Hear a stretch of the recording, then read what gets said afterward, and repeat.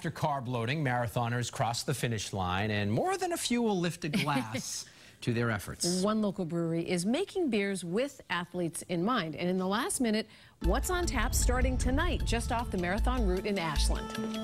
The crowd pouring into the pop-up beer garden near mile 23 is thirsty. Medfield-based Zelus Brewing is serving up pints with names like Race Pace. I just like the wheat beers, so that's what I picked. I do like the name Long Run with the marathon, so I think I'll be having one of those.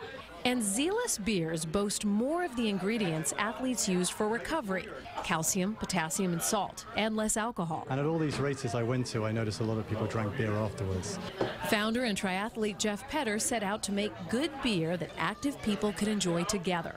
Beer is a social product, and a lot of people who compete in races aren't competing necessarily to win, they're doing it to meet people, the community aspect. He won't call it beer with benefits, but marathoner Jason McDonald hopes it is. So sodium potassium makes me want to have one of those on the route too. Beer drinkers have a taste for big flavors and low alcohol. Zelus now cans its beers in Ipswich three times a month. The pop-up beer garden in Ashland is only open two weeks, but Economic Development Director Beth Reynolds says many people want to see it here for good. This is a great opportunity to really test drive the market and see if a brewery would really fit in our town. And it seems like the crowd is loving it tonight.